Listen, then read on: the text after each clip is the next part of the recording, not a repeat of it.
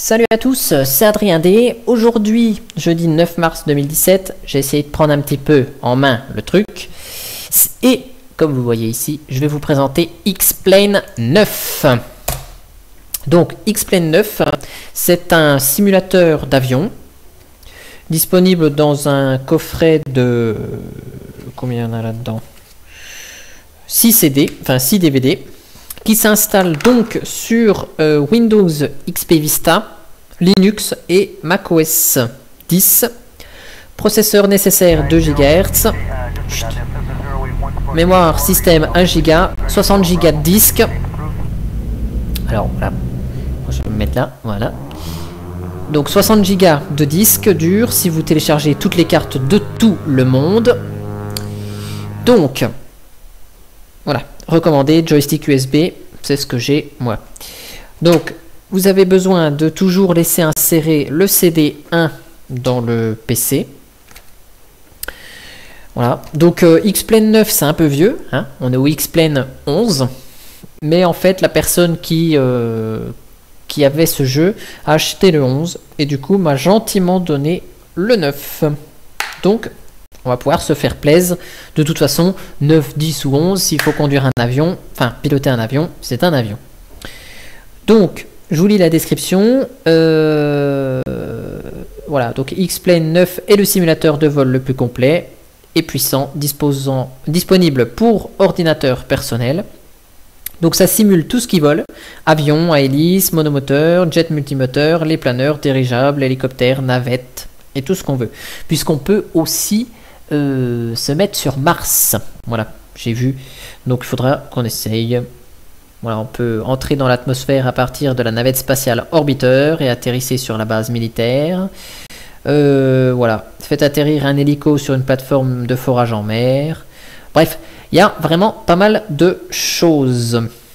Voilà, gestion de la météo et compagnie. Donc là, on va décoller sur Dijon d'Arrois. Voilà, on va aller sur cet aéroport. Donc là, en appareil, alors choisir un appareil. On a plusieurs types d'avions. Donc on a euh, General Aviation où on a les avions standards. On a euh, les avions de Mars, voilà, les hélicos. On a des, euh, hydravions, des navettes spatiales. Voilà. Donc ça c'est la navette spatiale on, peut avoir plein de trucs. Donc je vais, rester dans General Aviation. Je vais essayer de prendre un avion qui fait pas trop de bruit. Donc vous m'entendiez encore. Donc voilà, ça c'est l'avion. Voilà. Donc ici, je suis, je suis où? Je suis à Dijon d'Arrois et on va essayer d'atterrir sur Dijon Longvie qui est l'aéroport euh, militaire de Dijon. Donc on va regarder, on va voir si on peut atterrir dans le sens 18 serait bien. On va prendre 36. Donc là, j'ai pas encore trop étudié le truc, hein, mais vous pouvez faire votre plan de vol. Donc là, il faut euh, mince il faut se rappeler donc LFGI LFGI et Dijon.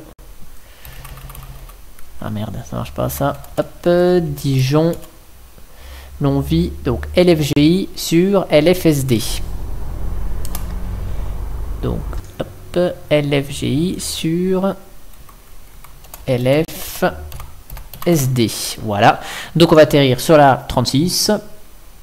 On va faire un vol à la vue, pas aux instruments. Voilà. Donc,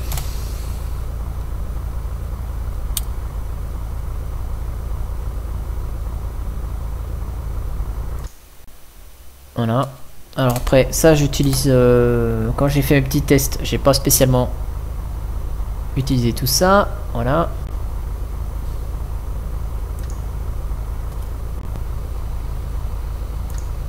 peut demander la puissance du vent, l'altimètre.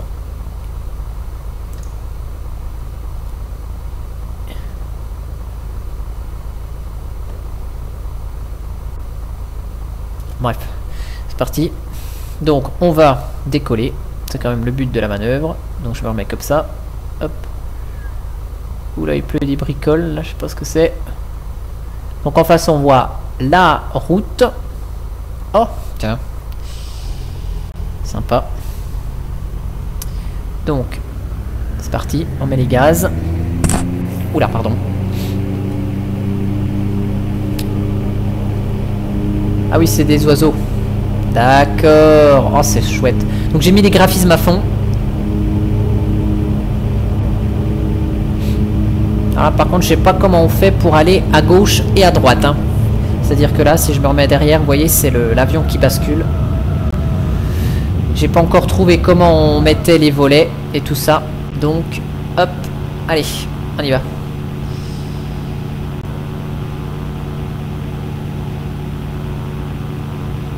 Voilà. Donc on va rentrer le train d'atterrissage. Et donc, euh, on va aller atterrir à Dijon-Longwy. Donc si vous voulez voir l'atterrissage, eh ben vous avez tout compris, vous allez à la fin de la vidéo. Si vous voulez voir un petit peu les graphismes et tout ça, eh ben restez avec moi, surtout que je vais parler un petit peu d'Explain du coup. Donc là, dans événements, vous avez la météo. Vous pouvez modifier la météo, la date et l'heure. Voilà, ici, la date, l'heure, donc ce que vous voulez. Donc là, on va arriver à Dijon. Donc vous voyez que ça rame un peu parce que c'est difficile. Donc ici, vous voyez un lac. Et c'est là qu'on se rend compte que euh, c'est assez, euh, c'est assez bien fait, le simulateur, puisque à Dijon, on a notre lac Kyr, qui est à peu près à ce niveau-là. Donc on voit que c'est plutôt fidèle. Sauf que là, bon, le lac... Non, si, la route contourne bien le lac. Donc comme à Dijon. Bon, normalement, on n'a pas le droit de, passer au-dessus des habitations. Hein. Ici, on a une petite colline, ce qui est le cas vraiment. Hein. On a notre plateau de Chenauve. Voilà. Et donc, Dijon est survolé. Donc, vous voyez, il y a les bâtiments 3D, tout ça, quoi. Donc là, forcément, vu qu'il y a beaucoup de contenu, ça rame.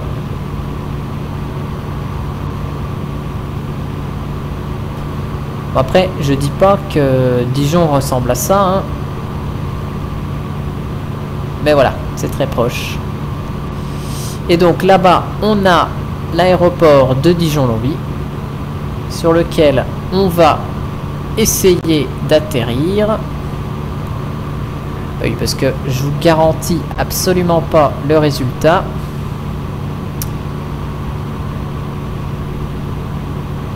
Donc vu que j'ai pris la piste qui est complètement dans l'autre sens, on va faire tout le tour. Voilà. Donc là on peut consulter rapidement la carte. Voilà, on voit son trajet. Et donc là on va atterrir comme ça.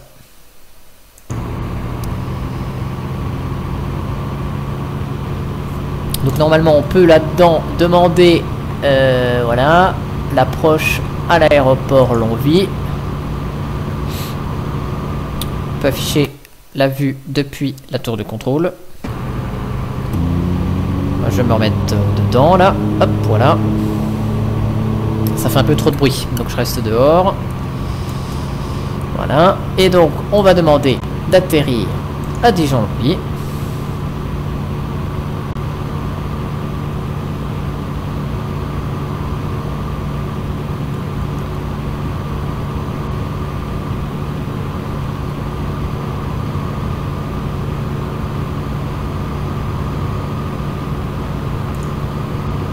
après voilà, je suis pas familier des termes de l'aviation. Donc je fais peut-être des non-sens. Voilà, donc la piste est là. La piste dans le bon sens. Donc, voilà. Il va falloir faire demi-tour. et se mettre comme il faut. Donc,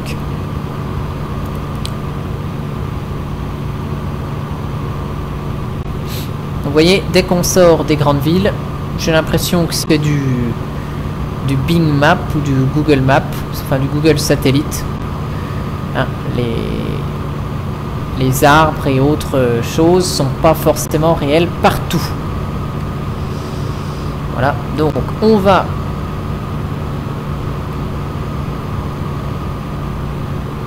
C'est un peu violent hein, le le tour comme ça.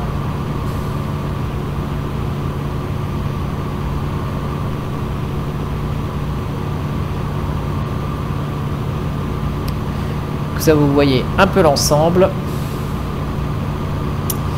Voilà. Ouf, ça rame un petit coup. Hop. Et donc, hop, on va sortir le train d'atterrissage. Donc là, hop ça. Quitter ça, voilà. Donc on réduit les gaz. Là, on est un petit peu trop haut. Même beaucoup trop haut. Je vais repasser en vue intérieure.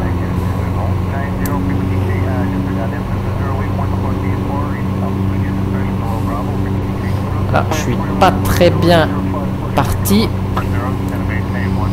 Voilà. Niveau altitude, on est pas mal. Attends, je vérifie juste que mon ouais, train d'atterrissage est bien là. Alors, qu'est-ce qu'il me dit? Vous avez mis trop d'options? Oui, d'accord. J'avais mis beaucoup d'options rien que pour euh, la vidéo, pour vous montrer tout ça. Voilà, on est un peu bas là. Hop. Donc on va essayer d'atterrir correctement à peu près. Ce qui est pas tout à fait bien parti.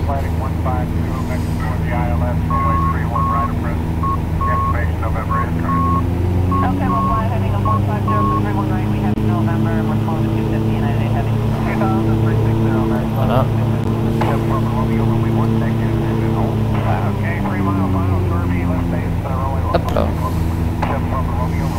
On va essayer de se poser un peu plus doucement. Voilà. Voilà. Et voilà. C'est pas mal, non? Bien.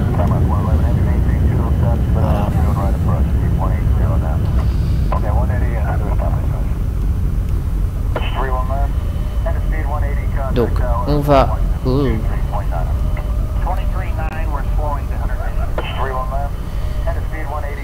voulais tourner dans le petit chemin, mais...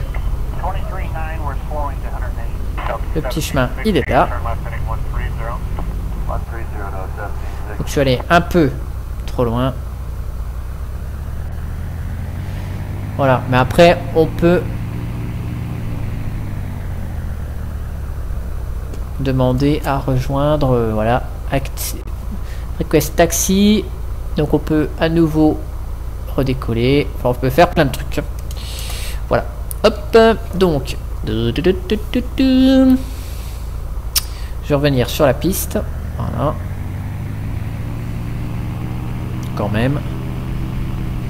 Et voilà. Mais c'était vraiment pour vous montrer. Donc je vais.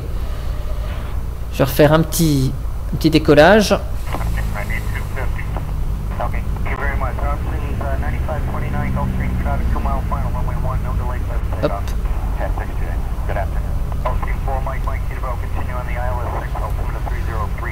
On va décoller. Euh, la piste va pas être très longue.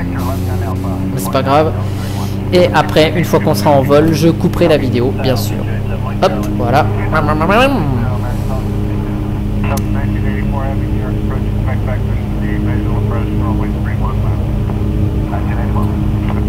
Voilà, donc on peut bien sûr euh, utiliser la radio, se mettre dans les conditions vraiment euh, optimales.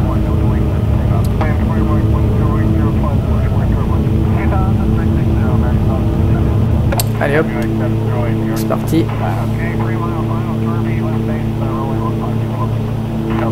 Voilà. Donc, euh, eh ben, j'espère que cette vidéo sur X-Plane vous aura plu. Hein. que vous aurez appris, vous aurez vu un truc assez sympa. Euh, voilà, après X-Plane, il y a euh, FlightGear, je crois, qui est un, qui est un logiciel, euh, un simulateur de vol libre sous Linux aussi. Bon, voilà. Moi, je voulais vous montrer X-Plane, tout simplement parce que ça fait vraiment pas longtemps que je l'ai. Et, voilà, je voulais vous montrer quand même que finalement, sous Linux, et pas forcément avec Steam, on peut euh, faire de belles choses. Voilà, on peut jouer à des jeux euh, super, euh, super cool, super jolis. voilà, il n'y a pas forcément besoin d'avoir Steam ou d'avoir d'autres choses. Voilà. Et eh ben, j'espère que cette vidéo vous aura plu. Et moi, je vous dis à bientôt pour une prochaine vidéo. Allez, ciao